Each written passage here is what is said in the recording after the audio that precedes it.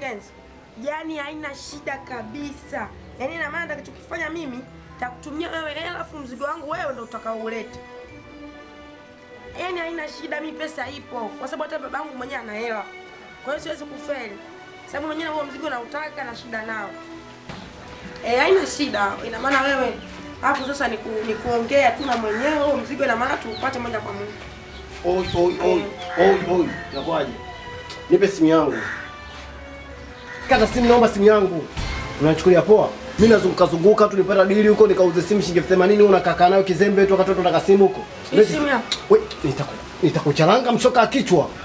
Nitakuchalanga mshoka kichwa. Lete lete simu. Atembea sasa. Sasa sikiliza. Ukimaliza mzunguko yako na hiyo simu, utaileta pale kwa mwanajeshi mstaafu, sawa? Eh? Nyumba ya tatu pale kwa mwanajeshi mstaafu.